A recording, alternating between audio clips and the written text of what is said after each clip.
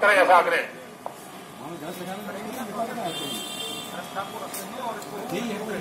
और इसके निराकरण का प्रयास करेंगे।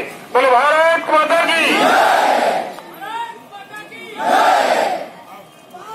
आश्वस्त करें ऐसा आग्रह